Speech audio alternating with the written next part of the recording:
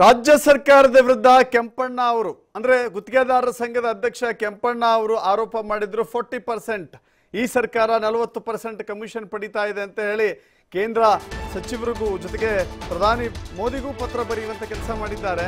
ಆದ್ರೆ ಇಲ್ಲೊಂದು ಪ್ರಕರಣ ಅಂತ ಹೇಳಿದ್ರೆ, ಈ ಫಾರ್ಟಿ ಪರ್ಸೆಂಟ್ ಕಮಿಷನ್ ಅನ್ನೋದು ಸಂತೋಷ್ ಪಾಟೀಲ್ ಅಥವಾ ಕೆಂಪಣ್ಣ ಅವ್ರಿಗೂ ಮೊದಲೇ ನಾನು ದೂರು ನೀಡಿದ್ದೆ ಅಂತ ಕುಮಾರ್ ಹೇಳಿದ್ದಾರೆ. ಯಾರಿ ಕುಮಾರ್ ಅಂತ ನೋಡೋದಾದ್ರೆ ಎಂ ಕೆ ಕುಮಾರ್ ಅಂತ ಮಂಡ್ಯದ ಮದ್ದೂರಿನ ಗುತ್ತಿಗೆದಾರ, ಅವರು ದೂರು ಕೊಟ್ಟಿದ್ರಂತೆ. ನಲವತ್ತು ಪರ್ಸೆಂಟ್ ಕಮಿಷನ್ ದಂಧೆ ನಡೀತಾ ಇದೆ ಅನ್ನೋದನ್ನ ಎರಡು ಸಾವಿರದ ಹತ್ತೊಂಬತ್ತರಲ್ಲೇ ದೂರು ಕೊಟ್ಟಿದ್ರಂತೆ. ಅದರ ಪ್ರತಿಯನ್ನು ಕೂಡ ತೋರಿಸ್ತಾ ಇದ್ದೇವೆ ನಿಮಗೆ. ಎರಡು ಸಾವಿರದ ಹತ್ತೊಂಬತ್ತರಿಂದ ಕಾನೂನು ಹೋರಾಟ ಮಾಡ್ತಾ ಇದ್ದಾರೆ ಕುಮಾರ್.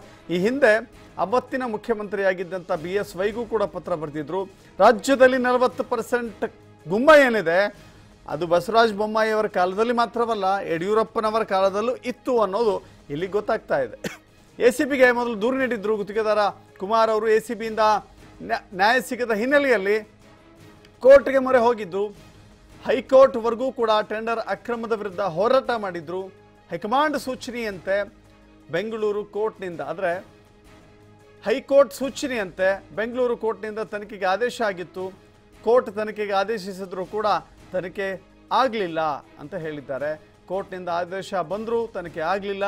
ಕಿಕ್ ಬ್ಯಾಕ್ ಪರ್ಸೆಂಟೇಜ್ ಹೇಗೆ ನಡೆಯುತ್ತೆ? ಎಲ್ಲವೂ ಬಯಲಾಗುತ್ತೆ. ಸರ್ಕಾರದ ಅನುಮತಿ ನೀಡದಿದ್ದರೆ ಪ್ರಧಾನಿಗೆ ಸಿ ಬಿ ಕೂಡ ದೂರು ಕೊಡ್ತೀನಿ ಅಂತ ಕುಮಾರ್ ಹೇಳ್ತಾ ಇದ್ದಾರೆ. ಪ್ರಧಾನಿ ಮೋದಿಯಿಂದಲೇ ಭ್ರಷ್ಟಾಚಾರಕ್ಕೆ ಪ್ರೋತ್ಸಾಹ ಆಗ್ತಾ ಇದೆ ಅಂತ ಅವ್ರು ಮೆನ್ಷನ್ ಮಾಡಿದ್ದಾರೆ. ಈ ಹಿಂದೆ ಕೋರ್ಟ್ ಆದೇಶದಿಂದ ತನಿಖೆಗೆ ಅವಕಾಶ ಇತ್ತು. ಎರಡು ಸಾವಿರದ ಹದಿನೆಂಟರಲ್ಲಿ ಪ್ರಧಾನಿ ಮೋದಿ ಅದನ್ನು ತಿದ್ದುಪಡಿ ಮಾಡಿ ಕೋರ್ಟ್ ಆದೇಶ ಕೊಟ್ಟರು ಸರ್ಕಾರದ ಅನುಮತಿ ಬೇಕಂತ ಹೇಳಿ ತಿದ್ದುಪಡಿ ಮಾಡಿದ್ರು. ಆ ಮೂಲಕ ಭ್ರಷ್ಟಾಚಾರಕ್ಕೆ ಪರೋಕ್ಷ ಸಹಕಾರ ಕೊಡ್ತಾ ಇದ್ದಾರೆ ಪ್ರಧಾನಮಂತ್ರಿ ಮೋದಿ ಅಂತ ಕುಮಾರ್ ಪತ್ರ ಬರೆದಿದ್ದಾರೆ. ಸರ್, ಇವತ್ತು ಸರ್ಕಾರದ ಕಾಮಗಾರಿಗಳಲ್ಲಿ ಫಾರ್ಟಿ ಪರ್ಸೆಂಟ್ವರೆಗೆ ಕಮಿಷನ್ ಕೊಡ್ತಾ ಇದ್ದಾರೆ ಅನ್ನೋ ನಮ್ಮ ಗುತ್ತಿಗೆದಾರ ಸಂಘದ ಅಧ್ಯಕ್ಷರಾದ ಕೆಂಪಣ್ಣನವರು ಆರೋಪ ಮಾಡಿ ಅದರ ವಿಚಾರವಾಗಿ ಈಗ ಚರ್ಚೆ ನಡೀತಾ ಇದೆ. ಇದ್ರ ಬಗ್ಗೆ ನನಗೆ ತಿಳಿದ ಮಟ್ಟಿಗೆ ನಾನು as a contractor forty percent ನಡೀತಾ ಇರೋದು ಸತ್ಯ. ಅಂದರೆ ಎಲ್ಲ ಕೆಲಸದಲ್ಲೂ ಫಾರ್ಟಿ ಪರ್ಸೆಂಟ್ ಇಲ್ಲದೆ ಹೋದರೂ ಅವರೇಜ್ ಒಂದು ತರ್ಟಿ ಪರ್ಸೆಂಟ್ವರೆಗೆ ನಡೀತಾ ಇದೆ. ಅದಕ್ಕೆ ಕಾರಣ ಏನು ಅಂತ ನೀವು ಹುಡುಕಬೇಕು. ಯಾರೂ ಕೊಟ್ಟಿರೋಂತಕ್ಕಂಥವ್ರು, ನಾವು ಇಂಥವ್ರಿಗೆ ಇಷ್ಟು ಕೊಟ್ಟಿದ್ದೀವಿ ಅಂತೇಳಿ ದಾಖಲೆಗಳನ್ನ ಕೊಡೋಕ್ಕಾಗಲ್ಲ, ಅಥವಾ ಅದನ್ನೇನು ಈಗ ನಾವು ಯಾರೋ ಒಬ್ರಿಗೆ ಅಧಿಕಾರಿ ಕೊಡಬೇಕಾಗಲಿ ಸಂಬಂಧಪಟ್ಟ ಇನ್ಯಾರಿಗೂ ಕೊಡಬೇಕು ಅಂದಾಗ ನಾವು ರೆಕಾರ್ಡ್ ಮಾಡ್ಕೊಳ್ತೀವಿ ಅಂತೇಳಿ ದಾಖಲೆಗಳನ್ನ ಮಾಡ್ಕೊಳಕ್ಕಾಗಲ್ಲ. ಅಪ್ಪ ಅಪ್ಪಿ ತಪ್ಪಿ ಒಂದು ಎರಡು ಮಾಡ್ಕೋಬೋದು. ಆ ಒಂದು ಎರಡು ಮಾಡ್ಕೊಂಡಾಗ ನೀವೇನು ಮಾಡ್ತೀರಿ? ಇದು ಸ್ಟೇಟ್ ಇಶ್ಯೂ ಆಗಿದೆ. ಆ ಒಬ್ಬರ ಮೇಲೆ ತನಿಖೆ ಮಾಡ್ತೀರಿ ಅಥವಾ ಒಬ್ಬರನ್ನ ಕ್ರಮ ಕ್ರಮ ಜರುಗಿಸ್ತೀರಿ? ಹಂಗಾಗಿ ಅದು ಸರಿ ಹೋಗಲ್ಲ. ನಾನೇನು ಮಾಡಿದ್ದೀನಿ? ಈ ವಿಚಾರವಾಗಿಯೇ ಟೆಂಡರ್ಗಳಲ್ಲಿ ಅಕ್ರಮ ನಡೀತಾ ಇರೋದ್ರಿಂದ ಈ ಪರ್ಸೆಂಟೇಜ್ ಕೊಡೋದಕ್ಕೆ ಸಾಧ್ಯ ಇರೋದು. ಈಗ ಕೆಲವರು ಯಾರು ಕೆಲವು ಗುತ್ತಿಗೆದಾರರು ಕೊಡೋಕೆ ರೆಡಿ ಇದ್ದಾರೆ. ಯಾರು ರೆಡಿ ಇದ್ದಾರೆ ಅಂದರೆ ಇಲ್ಲಿ ಅಡ್ಜಸ್ಟ್ಮೆಂಟ್ ಮಾಡಿ ಹೈಯರ್ ರೇಟ್ಗೆ ಟೆಂಡರ್ಗಳು ಕೊಡ್ತಾರೆ. ಆ ವಿಚಾರವಾಗಿ ನಾನು ಕಂಪ್ಲೇಂಟ್ ಮಾಡಿದ್ದೆ. ಯಾವಾಗ ಯಡಿಯೂರಪ್ಪನವ್ರ ಸರ್ಕಾರ ಇದ್ದಾಗ ಅಕ್ಟೋಬರ್ ತಿಂಗಳು ಮೂವತ್ತು, ಹತ್ತು, ಎರಡು ಸಾವಿರದ ಹತ್ತೊಂಬತ್ತರಲ್ಲಿ ಕಂಪ್ಲೇಂಟ್ ಮಾಡಿದ್ದೆ. ಅವರು ಕ್ರಮ ಜರುಗಿಸಿಲ್ಲ. ಕೊನೆಗೆ ಎ ಸಿ ಬಿಗೂ ಕೊಟ್ಟಿದ್ದೆ, ಲೋಕಾಯುಕ್ತಗೂ ಕೊಟ್ಟಿದ್ದೆ. ಲೋಕಾಯುಕ್ತಕ್ಕೆ ಕೊಟ್ಟಿದ್ದಂಥ ಕಂಪ್ಲೇಂಟ್ನ ಸುಳ್ಳು ಮಾಹಿತಿಗಳನ್ನ ಕೊಟ್ಟು ಕ್ಲೋಸ್ ಮಾಡಿಸ್ಕೊಂಡಿದ್ದಾರೆ. ಈಗ ಆಲ್ರೆಡಿ ತನಿಖೆ ನಡೀತಾ ಇದೆ ಅಂತೇಳಿ ಕ್ಲೋಸ್ ಮಾಡಿಸ್ಕೊಂಡಿದ್ದಾರೆ. ಎ ಸಿ ಬಿ ಅವರು ಒಂದೂವರೆ ವರ್ಷದ ನಂತರ ನನಗೆ ವಾಪಸ್ಸು ಅದೇ ಇಲಾಖೆಗೆ ನಾವು ಯಾವ ಇಲಾಖೆ ಮೇಲೆ ಕಂಪ್ಲೇಂಟ್ ಕೊಟ್ಟಿದ್ವೋ ಅದೇ ಇಲಾಖೆಗೆ ವಾಪಸ್ ಹಾಕಿದ್ದಾರೆ.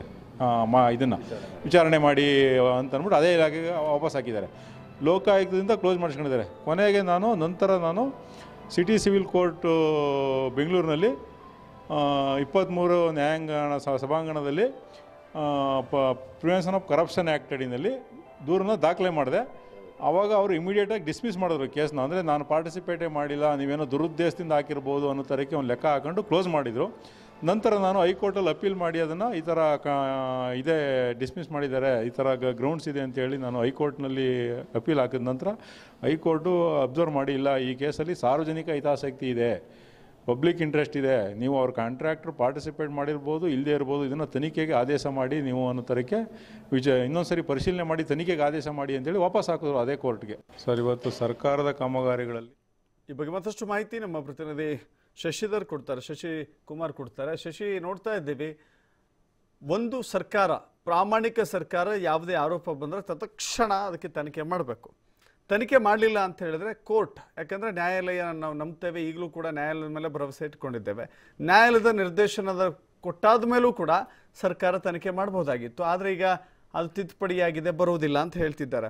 ತಮ್ಮ ಮೇಲಿನ ಆರೋಪಗಳನ್ನು ತಾವೇ ಸರ್ಕಾರ ಹೇಗೆ ತನಿಖೆ ಮಾಡ್ಕೊಳ್ಳುತ್ತೆ ಅನ್ನೋದು ಇಲ್ಲೊಂದು ಪ್ರಶ್ನೆ. ಜೊತೆಗೆ ಫೋರ್ಟಿ ಪರ್ಸೆಂಟ್ ಭೂತ ಬೊಮ್ಮಾಯಿ ಸರ್ಕಾರದಲ್ಲ ಯಡಿಯೂರಪ್ಪನವರ ಸರ್ಕಾರದಲ್ಲಿ ಇತ್ತು ಅನ್ನೋದ ಸರ್ಕಾರದಲ್ಲಿ ಇತ್ತು ಅನ್ನೋದು ಕುಮಾರ್ ಅವರ ಮಾತಿನಲ್ಲಿ ವ್ಯಕ್ತವಾಗ್ತಿದೆ. ಯಾವ ರೀತಿಯೆಲ್ಲ ಹೋರಾಟ ಮುಂದುವರಿಸ್ತಾ ಇದ್ದಾರೆ ಅಂತ ಹೇಳಿ ಶಶಿಕುಮಾರ್. ನಿಜವಾಗ್ಲೂ ದಸರಥ್ ಸಾವು ಏನೋ ಮಂಡ್ಯದ ಆ ಮದ್ದೂರಿನ ಗುತ್ತಿಗೆದಾರ ಎಂ ಕೆ ಕುಮಾರ್ ಅಂತೇಳಿ ಎರಡ್ ಸಾವಿರದ ಹತ್ತೊಂಬತ್ತರಿಂದಲೂ ಕೂಡ ಕಾನೂನು ಹೋರಾಟವನ್ನ ನಡೆಸ್ತಾ ಇರ್ತಕ್ಕಂಥದ್ದು. ಅದರಲ್ಲೂ ಏನು ಈ ಪರ್ಸೆಂಟೇಜ್ ಮತ್ತೆ ಟೆಂಡರ್ ಅಕ್ರಮ ಅನ್ನೋ ಗುಮ್ಮ ಬಿಜೆಪಿ ಸರ್ಕಾರವನ್ನು ಬಿಟ್ಟು ಬಿಡದೆ ಕಾಡ್ತಿದೆ ಅಂತಾನೆ ಹೇಳ್ಬೋದು. ಯಾಕಂತ ಹೇಳಿದ್ರೆ ಇದು ಇವತ್ತಿನ ಸರ್ಕಾರದಲ್ಲ ಹಿಂದಿನ ಸರ್ಕಾರದಿಂದಲೂ ಕೂಡ ಅಂದ್ರೆ ಯಡಿಯೂರಪ್ಪವ್ರಿಗೂ ಕೂಡ ಇದ್ರ ಬಗ್ಗೆ ದೂರನ ಕೊಟ್ಟಿದ್ರು. ಅಂದ್ರೆ ಇವರು ಏನೋ ಸಾಕಷ್ಟು ಒಂದು ಹವ್ಯವರ ಆಗಿದೆ ಅಂತ ಹೇಳಿ ಎರಡ್ ಸಾವಿರದ ಹದಿನೆಂಟರಲ್ಲೇ ಆಗ್ಲೇನೆ ಹತ್ತೊಂಬತ್ತರಲ್ಲಿ ಆಗಿದಂತವ್ರ ಸಂದರ್ಭದಲ್ಲೇನೆ ಬಿ ಎಸ್ ಯಡಿಯೂರಪ್ಪ ಅವರು ಮುಖ್ಯಮಂತ್ರಿ ಆಗಿದ್ದಾಗ್ಲೇನೆ ರಾಜ್ಯ ಅಭಿವೃದ್ಧಿ ಯೋಜನೆ ಅಂತ ನಾಲ್ಕರ ಕಾಮಗಾರಿಗಳಲ್ಲಿ ಸಾಕಷ್ಟು ಅಕ್ರಮ ನಡೆದಿದೆ. ಅದರಲ್ಲಿ ನೂರಾರು ಕೋಟಿ ಅವ್ಯವಹಾರ ಆಗಿದೆ ಅಂತ ಹೇಳಿ ಸಾಕಷ್ಟು ಒಂದು ದಾಖಲೆಗಳ ಸಮೇತವಾಗಿ ಒಂದು ದೂರನ್ನ ಕೊಟ್ಟಿದ್ರು. ಆದ್ರೆ ಆ ದೂರಿಗೆ ಯಾವುದೇ ಸರ್ಕಾರ ಯಾವುದೇ ತರದ ಕ್ರಮವನ್ನ ಕೈಗೊಂಡಿರ್ಲಿಲ್ಲ. ಬದಲಾಗಿ ಎ ಸಿ ಬಿಗೂ ಕೂಡ ಇವರು ದೂರನ್ನ ಕೊಡ್ತಾರೆ. ಆದ್ರೆ ಎ ಸಿ ಅವರು ಅದನ್ನ ತನಿಖೆ ಮಾಡೋದನ್ನ ಬಿಟ್ಟು ತಪ್ಪಿತಸ್ಥ ಏನು ಅಧಿಕಾರಿಗಳಿರ್ತಾರೆ, ಅವ್ರಿಗೇನೆ ಅದನ್ನ ತನಿಖೆಗೆ ಶಿಫಾರಸನ್ನ ಮಾಡಿ ಅವ್ರ ಕೈ ತೊಳ್ಕೊಳ್ಳುವಂತ ಒಂದು ಪ್ರಯತ್ನವನ್ನ ಮಾಡ್ತಾರೆ. ಹೀಗಾಗಿ ಇವರು ಬೆಂಗಳೂರು ಸಿಟಿ ಸಿವಿಲ್ ಕೋರ್ಟ್ಗೆ ಪಿ ಸಿ ಆರ್ ಅನ್ನ ಹಾಕ್ತಾರೆ. ಆ ಸಂದರ್ಭದಲ್ಲಿ ಆ, ಕೋರ್ಟ್ ಇಂದನೂ ಕೂಡ ಅಂದ್ರೆ ಇದು ಸೂಕ್ತವಾಗಿಲ್ಲ ಇದೇನು ತನಿಖೆ ಮಾಡೋ ಉದ್ದೇಶ ಇಲ್ಲ ಅಂತ ಹೇಳಿ ಆ ಕೋರ್ಟ್ ಕೂಡ ವಜಾವನ್ನ ಮಾಡಿರುತ್ತೆ. ಇವರು ಮತ್ತೆ ಅವರು ಕಾನೂನು ಹೋರಾಟವನ್ನ ಮುಂದುವರಿಸಿ ಹೈಕೋರ್ಟ್ ಮೊರೆ ಹೋಗ್ತಾರೆ. ಹೈಕೋರ್ಟ್ ನಲ್ಲೂ ಕೂಡ ಇದಕ್ಕೆ ಸಂಬಂಧಪಟ್ಟಂತೆ ಸೂಕ್ತ ವಾದ ವಿವಾದ ವಿಚಾರಣೆ ಎಲ್ಲ ನಡೆಸಂತ ಹೈಕೋರ್ಟ್ ನ್ಯಾಯಪೀಠ ಇದು ಸೂಕ್ತವಾಗಿದೆ, ಇದು ಸಾರ್ವಜನಿಕ ಹಿತಾಸಕ್ತಿಗೆ ಒಳಪಟ್ಟಿದೆ ಅಂತೇಳಿ ಅವತ್ತು ಮತ್ತೆ ಈ ಪ್ರಕರಣವನ್ನ ತನಿಖೆಗೆ ಮಾಡಬೇಕು ಅಂತ ಹೇಳಿ ತನಿಖೆಗೆ ಶಿಫಾರಸು ಮಾಡುವಂತೆ ಹೈಕೋರ್ಟ್ ಬೆಂಗಳೂರಿನ ಸಿಟಿ ಸಿವಿಲ್ ಕೋರ್ಟ್ಗೆ ಒಂದು ನಿರ್ದೇಶನವನ್ನು ನೀಡುತ್ತೆ. ಅದರ ಆಧಾರ, ಅದ ನಿರ್ದೇಶನದಂತೆ, ಹೈಕೋರ್ಟ್ ನಿರ್ದೇಶನದಂತೆ ಇದೀಗ city civil court, Bengaluru city civil court ತನಿಖೆಗೆ ಆದೇಶವನ್ನ ಮಾಡಿರ್ತಕ್ಕಂಥದ್ದು. ಆದ್ರೂ ಕೂಡ ಸರ್ಕಾರ, ಏನೋ ಎರಡ್ ಸಾವಿರದ ಹದಿನೆಂಟರಲ್ಲಿ ಈ ಹಿಂದೆ ಈ ಒಂದು ಪ್ರಕರಣ ಏನು ಕಾನೂನು ತಿದ್ದುಪಡಿ ಆಗಿರಲಿಲ್ಲ, ಎರಡ್ ಸಾವಿರದ ಹದಿನೆಂಟರಲ್ಲಿ ಇದೇ ಪ್ರಧಾನಿಯವರು ಏನೋ ಒಂದು ಕಾನೂನನ್ನು ತಿದ್ದುಪಡಿ ಮಾಡ್ತಾರೆ, ಕೋರ್ಟ್ ಆದೇಶ ಕೊಟ್ಟರು ಕೂಡ ಸರ್ಕಾರದ ಅನುಮತಿ ಇದ್ರಷ್ಟೇ ತನಿಖೆಯನ್ನ ಮಾಡಬೇಕು ಅನ್ನೋ ಮುಖಾಂತರವಾಗಿ ಒಂದು ಕಾನೂನನ್ನು ತಿದ್ದುಪಡಿ ಮಾಡ್ತಾರೆ. ಅದನ್ನೇ ಬಂಡವಾಳ ಮಾಡ್ಕೊಂಡಿರುವಂತ ಈ ಸರ್ಕಾರ, ನಾಲ್ಕು ತಿಂಗಳಿಂದನೂ ಕೂಡ ಆ ತನಿಖೆಗೆ ಏನು ಅವಕಾಶವನ್ನ ಕೊಡದಂತೆ, ಅನುಮತಿಯನ್ನ ಕೊಡದಂತೆ ಇನ್ನೂ ಕೂಡ ಏನು ಕಾಲಹರಣ ಮಾಡ್ತಾನೆ ಇದೆ. ಹೀಗಾಗಿ ರೊಚ್ಕೆತ್ತಿರುವಂತ ಆ, ಏನು ಕುಮಾರ್ ಅವರು ಹಿಂದಿನಿಂದಲೂ ಕೂಡ ನಾವು ಹೋರಾಟವನ್ನ ಮಾಡ್ತಿದ್ದೇವೆ. ಮುಂದೆ ನಾವು ಸಿಬಿಐ ತನಿಖೆಗೂ ಕೂಡ ಒತ್ತಾಯ ಮಾಡ್ತೇನೆ ಅಂತ ಹೇಳಿ ಆಗ್ರಹ ಮಾಡ್ತಾ ಇರ್ತಕ್ಕಂಥದ್ದು. ಇದು ಕೇವಲ ಕೆಂಪಣ್ಣವ್ರ ಒಬ್ಬರದೇ ಆರೋಪ ಆಗಿರ್ಲಿಲ್ಲ.